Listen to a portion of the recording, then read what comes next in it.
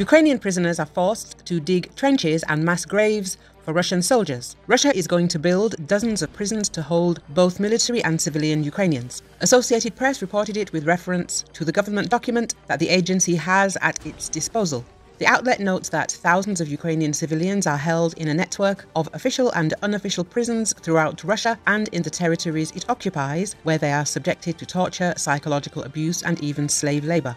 Russia plans to build dozens more such prisons. The agency spoke with numerous people, including two Ukrainian intelligence officials, 20 former detainees, former prisoners of war, families of more than a dozen detained civilians, and a government negotiator.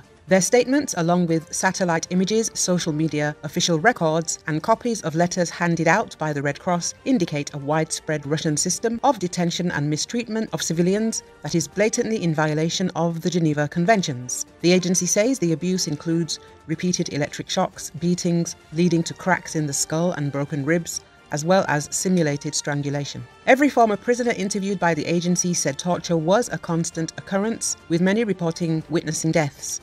At the same time, Russia does not recognize the fact it is imprisoning civilians. Some prisoners are used for slave labor in digging trenches for Russian soldiers and mass graves. The prisoners serve as future bargaining chips in exchanges for Russian soldiers, although international law forbids the exchange of civilians for prisoners of war, the agency notes.